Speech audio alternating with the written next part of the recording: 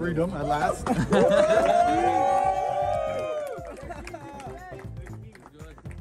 MashaAllah, brother. MashaAllah. MashaAllah. It's a little bit emotional. I've been in one room since last year, so uh, it's a little bit emotional.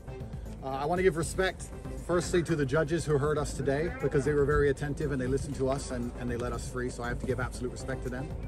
I have no resentment in my heart for the country of Romania or for anybody else. I just believe in the truth. It was political, so I believe in God, and I think that the, the fire of truth will eventually destroy all lies, and anybody who lies on a long enough time frame will feel the sting of regret. And I believe in this. yeah, sure. Um, I, I truly believe that justice will be served in the end. There is zero percent chance of me being found guilty of something I have not done. I maintain my absolute innocence, and I think most people understand this. And uh, I look forward to uh, being home. So thank you very much, everybody.